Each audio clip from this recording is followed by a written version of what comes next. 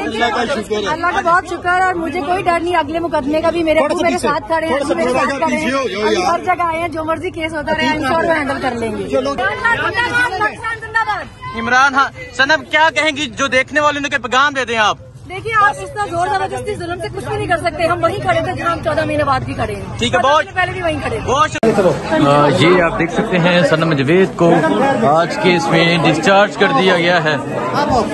जवेद को आज के केस में डिस्चार्ज कर दिया गया है अदालत की तरफ़ से। बड़ा फैसला है। सनम जवेद को आज के केस में डिस्चार्ज कर दिया गया है। ये इस टाइम इस्लामाबाद रास्ता दे दो। डिस्ट्रिक्ट कोर्ट के मनाजर हैं।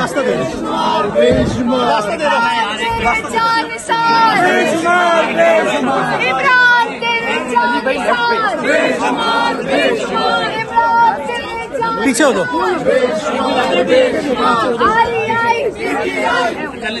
आ, ये देखें सनम। अब यहाँ से आप आओ। आप आगे से रास्ता आगे से रास्ता बेटा रास्ता हमें रास्ता दे दो। रास्ता दे दो रास्ता। हाँ, रास्ता दे दें।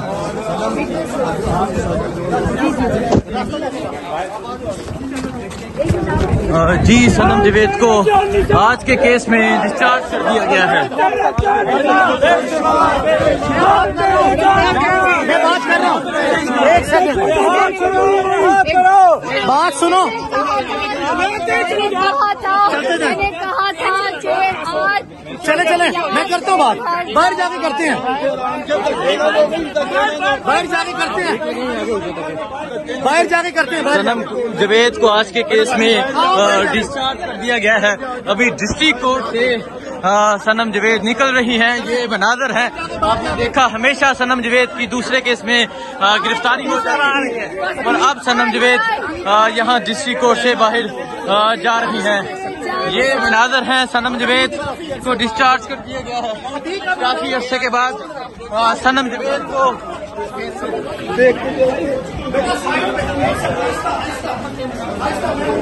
आ, देख सकते हैं सनम जवेद को डिस्चार्ज कर दिया गया है। और एक काफ़ी अर्से के बाद सनम आ, निकल रही हैं सनम की रहाई हो चुकी है।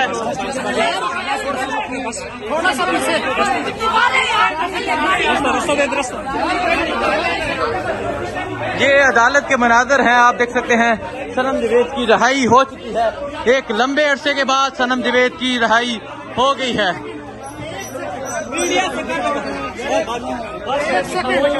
एक सेकंड। यार रुक जाए। रुक जाए यार रुक जाए। भाई रुक जाओ। भाई अब रुक यार पीछे हो जाओ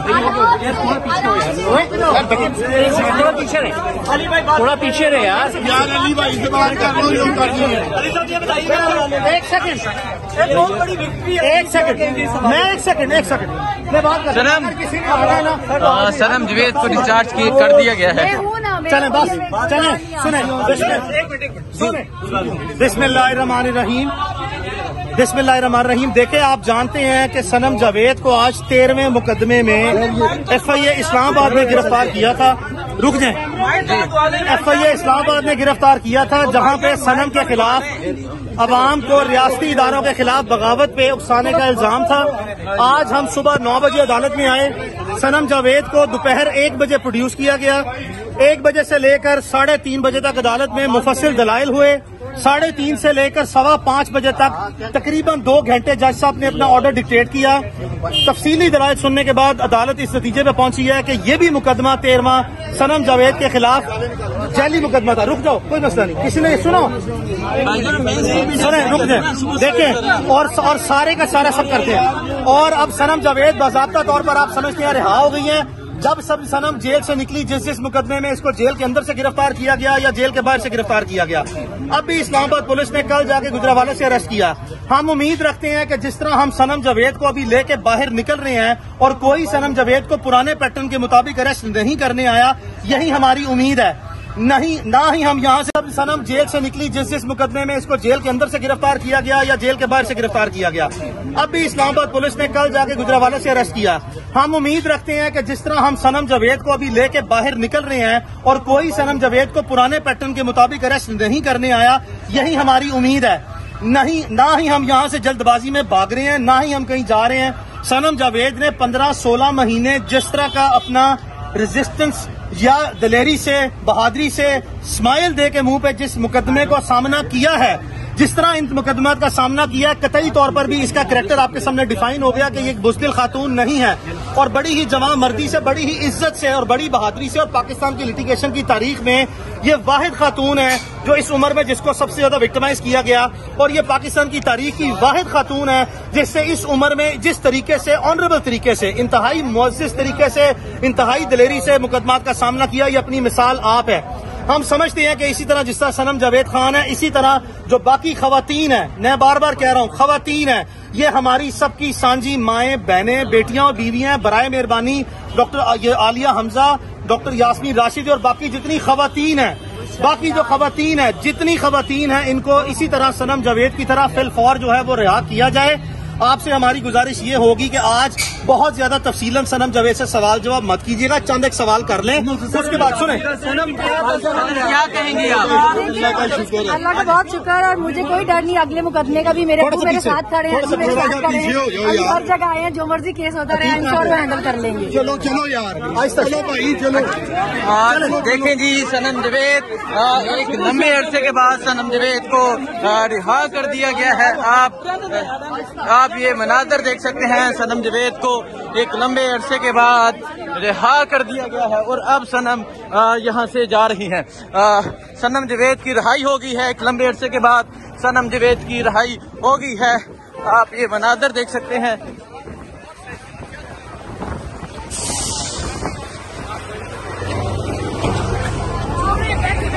ये सनम अब जा रही हैं, सनम जवेद की रहाई हो गई है।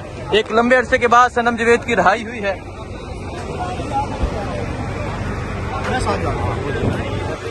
और अब सनम जवेद गाड़ी में बैठ गई हैं। सनम जवेद की रिहाई हो चुकी है।